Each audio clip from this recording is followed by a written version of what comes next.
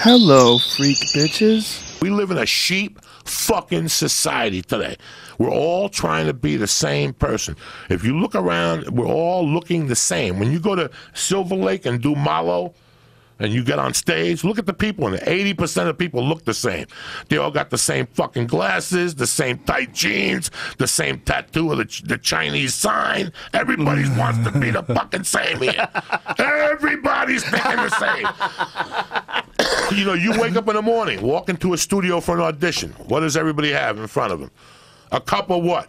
Coffee. Starbucks. Starbucks. And if you ain't got Starbucks, you ain't invited to the fucking party. Really? You see Starbucks raise their prices 20% again? Did they really? How much more are you going to pay for coffee? They got you hooked. They got you hooked. They want that money. It's not, and it's not coffee. Everybody got coffee. It's the status of going to Starbucks. Oh my God! Is it really? yes, it's, status. Oh my God! How many times you Wait, see a who's picture? impressed that you go to Starbucks over the coffee? I go to Coffee Bean. They have better croissants. It doesn't matter. You know better what I'm muffins saying? too. Yeah, but Muffins In today's society, quality. when we were growing up in Boston or Denver, you lived at your grandfather's in Newark.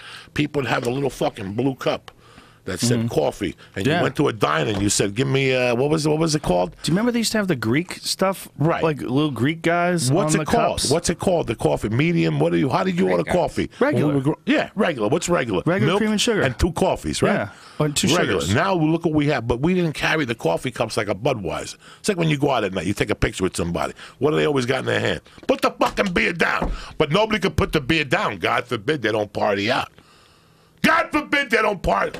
Party out? what does that mean? Let's put the butt so they can tell I'm drinking. What the fuck? Put the beer down, you fuck. Same thing with coffee in our society.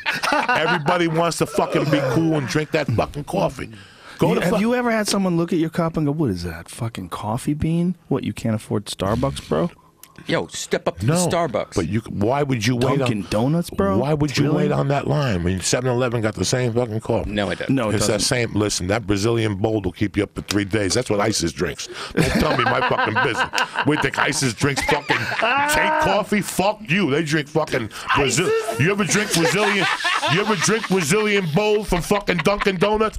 Fuck you. Fuck you. Dunkin' Donuts. Fuck everybody. Fuck all you dumb motherfuckers that pay eight dollars. Look at me, antibiotics and anti-fungus. Go to Dunkin' Donuts and get that Brazilian fucking bold and come back and see me. That's liquid fucking meth.